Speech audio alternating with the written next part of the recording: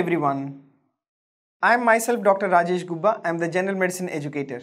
In this session, I will be discussing a very important topic in the neurology that is restless leg syndrome. So, if you see what exactly is the definition of the restless leg syndrome, as the name itself tells you that there is some restlessness within the legs. So, it is the disorder which is characterized by restlessness and sensory disturbances within the limbs.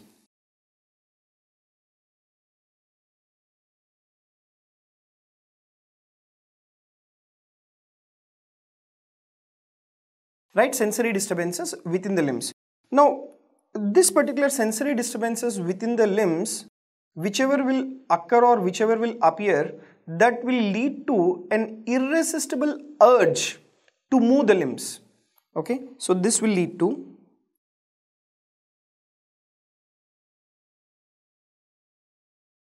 an irresistible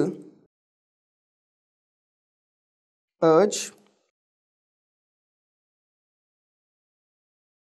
to move the limbs right? That is what you will have in patients with the restless leg syndrome. Now during which period or during which time does this restless leg restless legness or restlessness occurs within the limbs? This will occur especially during the periods of the relaxation.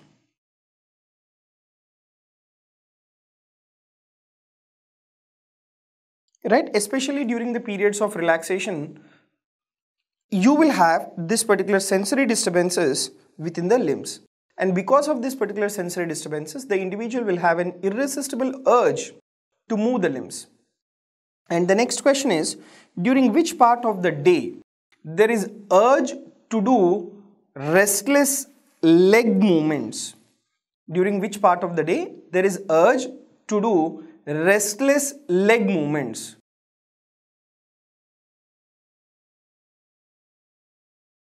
Right? The urge occurs exclusively in the evening. And at night. Right? Exclusively in the evening and at night. Or it is worse at night than during the day. Okay? So please remember it is more worse at the night than compared to that of day. Right? Then followed by that these individuals they will have a periodic limb movements during the sleep. So during the night whenever they sleep they have a periodic limb movements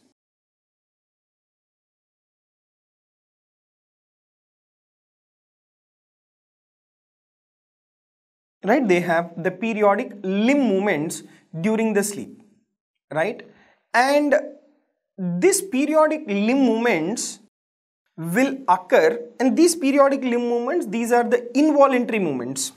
And there will be involuntary flexion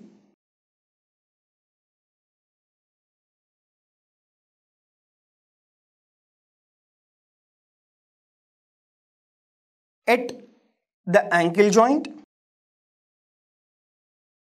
involuntary flexion at the knee joint and involuntary flexion at the hip joint. So, these involuntary movements will be in the form of flexion movements at the knee, ankle and as well as the hip, right? And that is mainly during the sleep. And that particular disturbance is mainly during the nocturnal sleep, right? And because of this particular disturbance during the nocturnal sleep, so these individuals they have decreased sleep during the night and they have excessive daytime somnolence.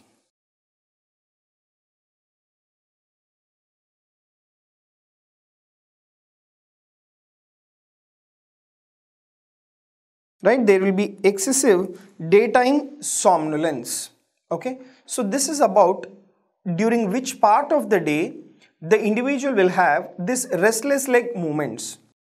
Now, what are the causes of this particular restless leg syndrome? This particular disorder, it affects almost 1 to 5 percentage of people and what exactly is the cause is not known, right? So it may occur as a primary disorder, right? It may occur as a primary disorder that is called idiopathic right it occurs as a primary disorder that is idiopathic now in which clinical scenarios the restless leg syndrome is associated one is your primary idiopathic. We don't know what exactly is the cause. But in certain disorders you have an associated feature that is restless leg syndrome. Now what are those clinical scenarios? You can have this restless leg syndrome in Parkinsonism, right? And this restless leg syndrome can be seen in patients with iron deficiency anemia, right? IDA stands for iron deficiency anemia, can be seen in pregnancy, right? And can be seen in individuals with peripheral neuropathy, right? In individuals with peripheral neuropathy. And what type of peripheral neuropathy is that? Like in what etiology is causing peripheral neuropathy? You will have this restless leg syndrome that is in case of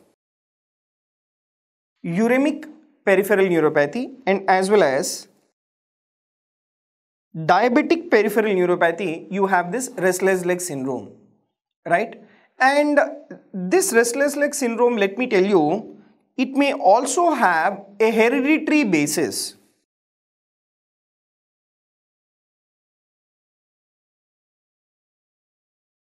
Right it may also have a hereditary basis and several genetic loci have been associated with the disorder right? It may have a genetic basis okay?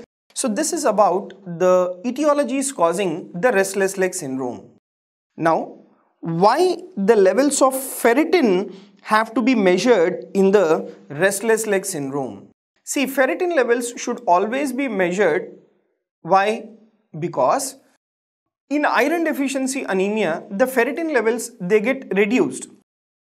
So, the ferritin levels, they are reduced in case of the iron deficiency in iron deficiency anemia. That is what you will come across in the restless leg syndrome if it is associated with the iron deficiency anemia.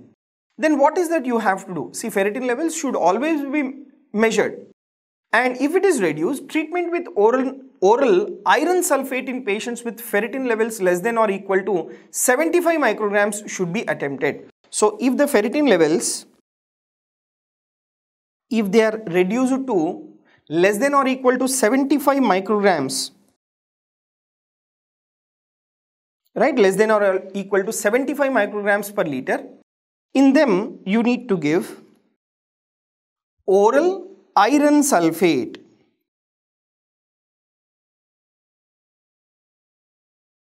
right? You need to give oral iron sulfate. Okay? So that is the reason why you have to give you have to do the serum ferritin levels. And how do you treat these patients with the restless leg syndrome? Therapy is with non-ergot dopamine agonist and what is that non-ergot dopamine agonist these particular dopamine agonists they include pramipexole right? They include pramipexole. And this pramipexole it is given at a dosage of 0.125 to 0.5 milligrams. This has to be given once daily orally. Right? This has to be given once daily orally. Right that is what is the dosage of the pramipexole which is nothing but it is a non-ergot dopamine agonist. Then we have another drug called ropinirole.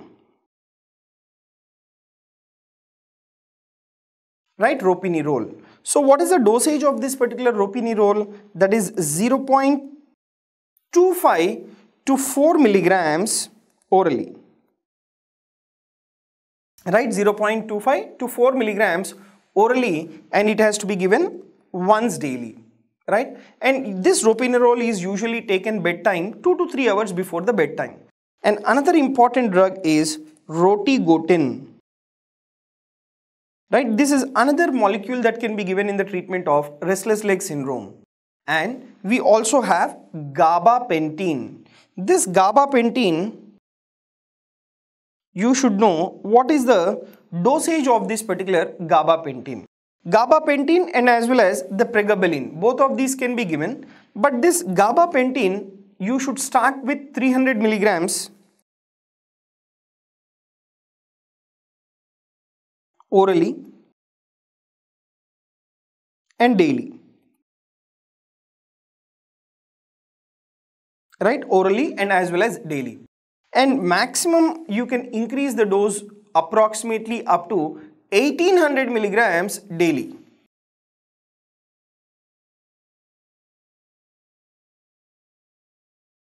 Right maximum you can give it up to 18 in 1800 milligrams daily depending upon the response and as well as tolerance of the individual.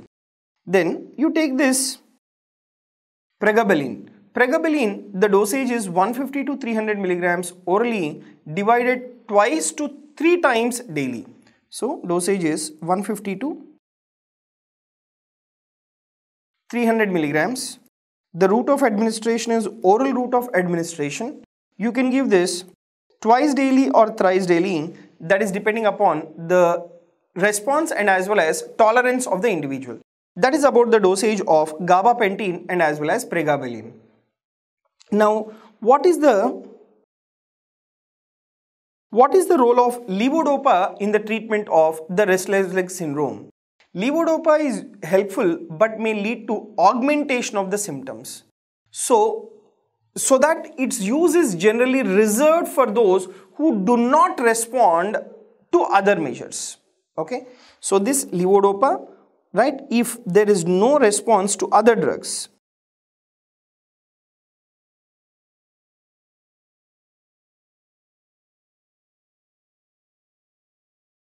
right if there is no response to other drugs then you need to give this particular levodopa but it is helpful but in occasionally in certain group of individuals there can be augmentation of the symptoms as well. Now what is the role of oxycodone? So we have what is called extended release oxycodone naloxone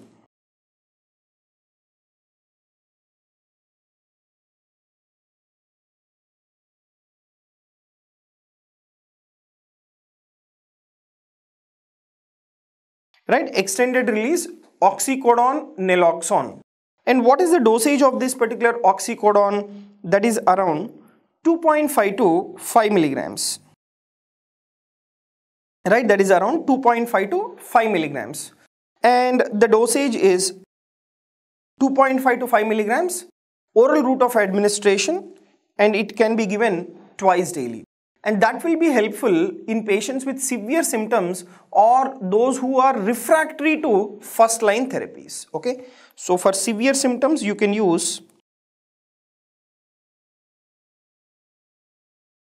oxycodone. And in those individuals who are refractory to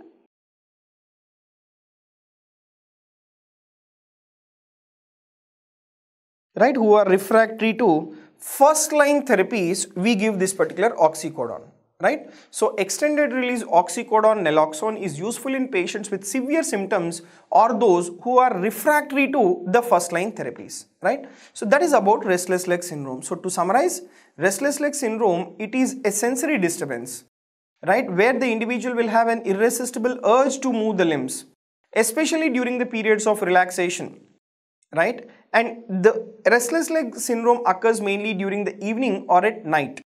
And this particular etiology include mostly it is idiopathic. We don't know what exactly is the cause and it can be or it can be associated with diseases like Parkinson's, pregnancy, iron deficiency anemia or the peripheral neuropathy.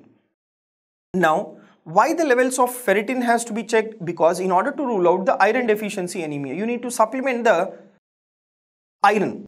And how do you treat this restless leg syndrome? Therapy is mainly with non-ergot dopamine agonist that is pramipexole, ropinirole, rotigotine or with gabapentin. See gabapentin the dosage is 300 milligrams orally and you have to increase that up to 1800 milligrams daily.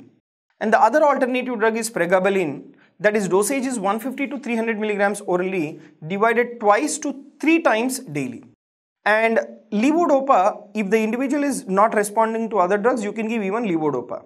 Oxycodone is another drug which can be given when the individual is having severe symptoms and individual refractory to first line therapies. That is about your restless leg syndrome. Thank you very much.